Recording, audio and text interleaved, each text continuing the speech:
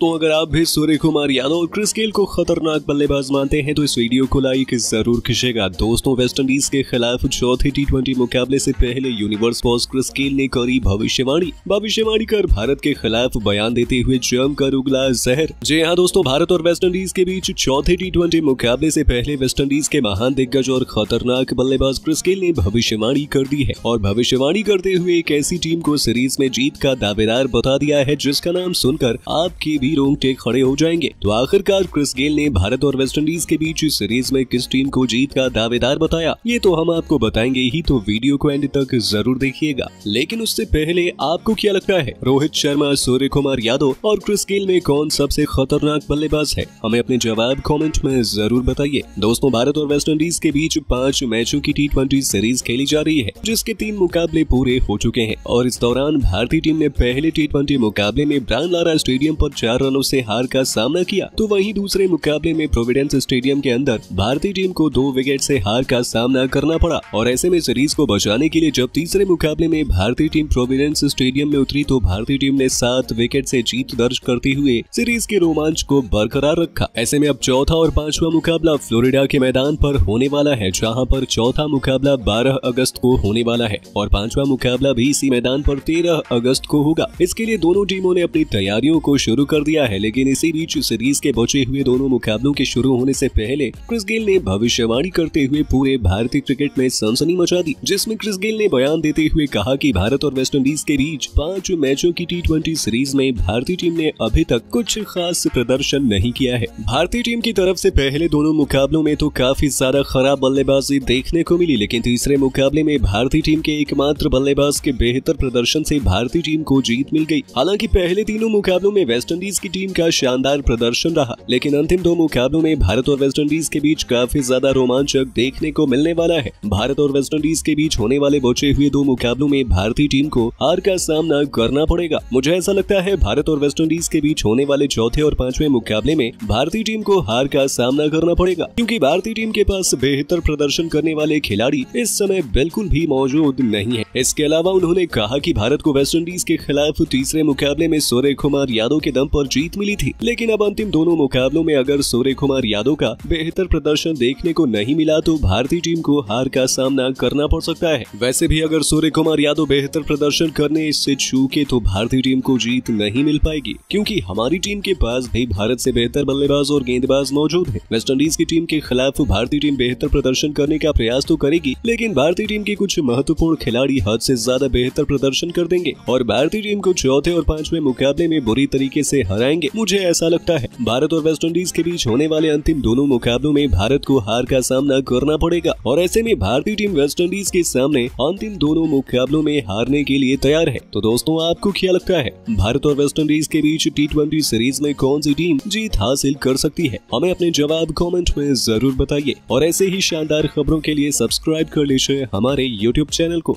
Video अच्छी हो तो इसे लाइक ज़रूर करें।